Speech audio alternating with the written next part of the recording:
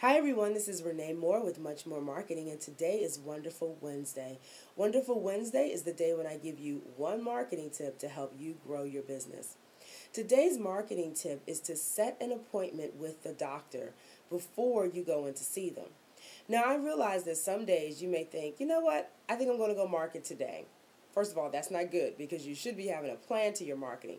But let's just say you've been inspired, you get up, you go out to the doctor's office. You get in there, and then you realize that the office is full and the doctor may not be able to see you. So, what do you do? Go to the receptionist, and I want you to say this exact phrase What is the procedure for meeting with the physician? This says a couple of things. One, that you don't expect to see them right away, and two, that you assume that they have some type of procedure for meeting with the doctor.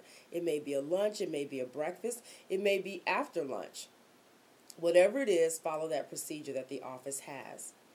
This also buys you some time to do some research on that doctor because you should be doing that as well. So you can find out a little bit more about the office before you come back, and you can find out a little bit more about the types of patients that they see.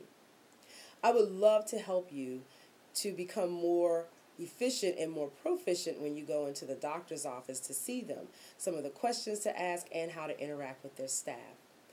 And as a free gift, what I'd like to do is to send you my free report five reasons why you aren't filling all the compounds you can handle. And you can get that report at bit.ly forward slash market compound. It's in the link below.